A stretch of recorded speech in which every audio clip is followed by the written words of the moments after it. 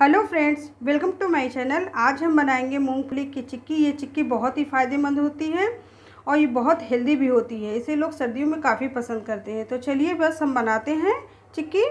चिक्की बनाने के लिए लेंगे हम 250 ग्राम मूंगफली के दाने। इसको पहले हम भून लेंगे। गैस को ऑन कर लेंगे। अब इसको हम कढ़ाई में डाल देंगे। मीडियम फ्लेम पर हम इसे भूनेंगे।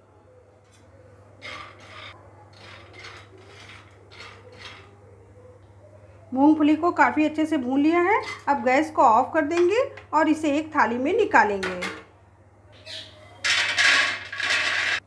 पाँच मिनट के लिए इसे ठंडा होने के लिए रख देंगे, जैसे कि इसके छिलके काफ़ी आसानी से निकल जाएँ।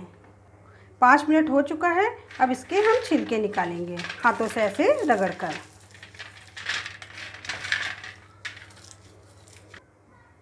सारे छिलके निकाल दिए हैं अब हम गुड़ को पका लेंगे, ये ढाई सौ ग्राम गुड़ है। पहले गैस को ऑन कर लेंगे। कढ़ाई में हम गुड़ डाल देंगे।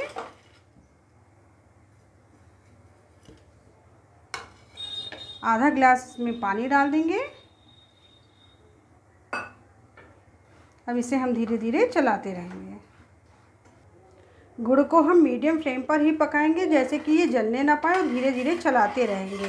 पानी डालने से गुड़ देखिए कितनी जल्दी घुल गया। इसलिए जब भी गुड़ पकाइए तो उसमें पानी आप थोड़ा सा डाल दीजिए।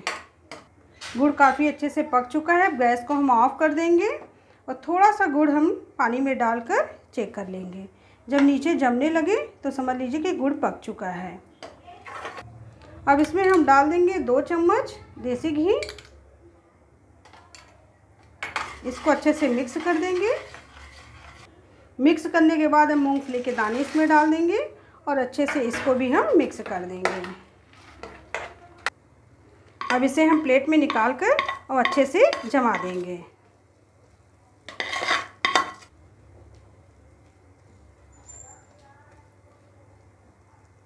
इसी पलटे की सहायता से ऐसे हम फैला देंगे इसे अच्छे से।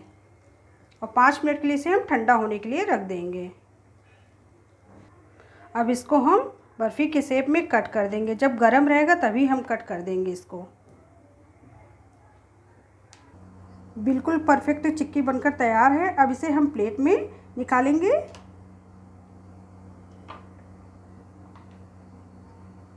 अब आप लोग भी ट्राई करिए और बताइए कैसे बनी। अगर आप लोगों को अच्छी लगी तो लाइक कीजिए शेयर कीजिए और सब्सक्राइब करिए हमारे चैनल को। तब तक के लिए बाय बाय